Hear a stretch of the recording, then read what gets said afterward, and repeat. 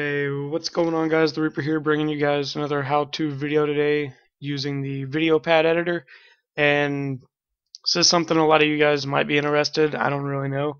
But uh, yesterday I had a lot of free time on my hands so I decided to start working on trying to make an intro with this program.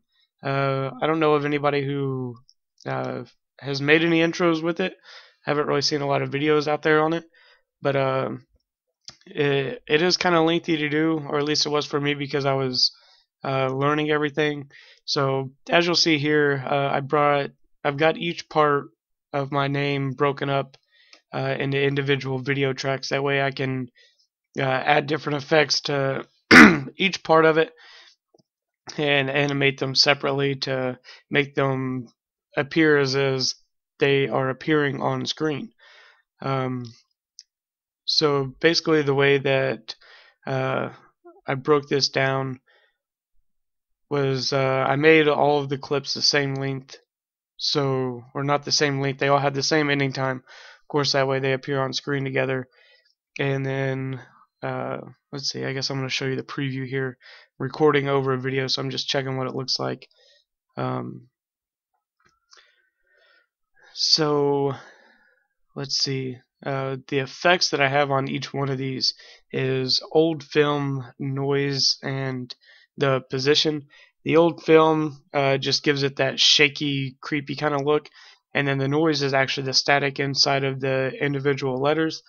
And you have to use the position to actually move the letters around to the different areas of the screen. And so you have to line them all up perfectly and everything like that. So I just left the offset at zero for the Y and just move the X around and actually moved them uh, left or right on the actual screen itself. Um, and then I left, did my timing at 0.3 seconds. Everything starts uh, starts at zero, and then at 0.3 seconds, at 0.6, at 0.9, and so forth.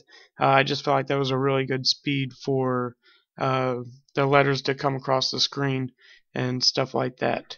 Okay, so after I got all that stuff set up, uh, I just went in and of course exported it and uh, set it up to where uh, I could edit it as an actual video clip. And so then uh, on my last video that I just threw up, that quad feed, um, I don't have this image in here. Uh, this is something actually I started working on after I uploaded that real quick. But uh, I realized that I wanted kind of more to it than just the Reaper. And I knew that I did, I just forgot to mess with it before I uploaded it. Uh, so now I'm going back in and I set up how I wanted to uh, basically add in more to my intro. I wanted to have a picture, so that's what uh, I did. I just went into Google Images and searched Reaper and found something that I liked. And uh, so the way that you have to, I have to actually add this in here for uh, everything to line up right. What I have to do is go into my intro right here, uh, you know, where I just have the Reaper showing up, as you can see. Now what I have to do to actually get this to show up behind everything is you have to go in and add an effect to it, and that effect is green screen. So if you guys don't know how green screen works, basically what it does is it filters out uh, the color of your background and it shows any kind of image that's left behind it that doesn't have that color on it. So since my background was black from my original AVI file that I created, I went in to configure effect and actually I'm going to show you on the one that I actually have. Delete that. Go here. And I have my green screen or aka actually my black screen here. I set the background color for black because that's what I needed to filter out to show the image uh, behind it. So I just set my color there clicked OK and you go to close. And I've also got some uh, uh, sound effects here that I downloaded uh, actually from the video pad and where did I pull those from let's go oh yeah I went to audio effects and if you just go to NCH library it brings this up and you can just download a whole bunch of different audio effects. So that's what I did. I downloaded Explosion 3 and Explosion 5. I like the way those two sounded together for my intro.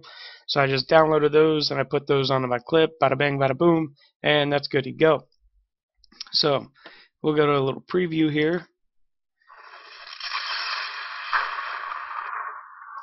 And it looks like crap there, but I uh, trusted that I knew how it was going to turn out.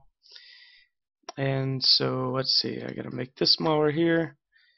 And we're just gonna go ahead and pull this up and I'm gonna show you guys the final product here. And I entitled it Intro 2.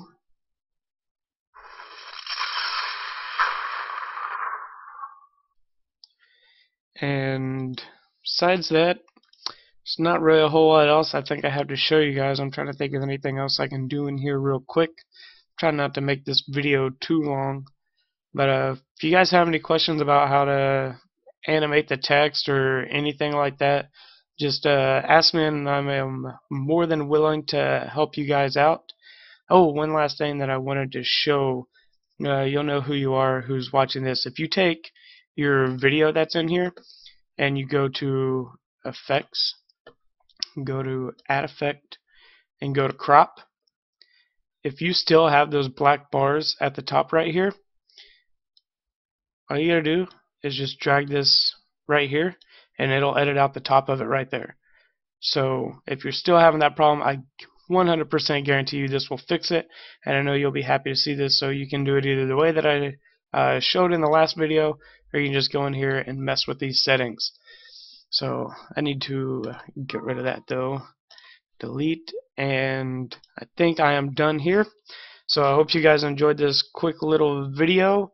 And like I said, if you have any questions or comments, put them down in the comment section below. Click the like button on this.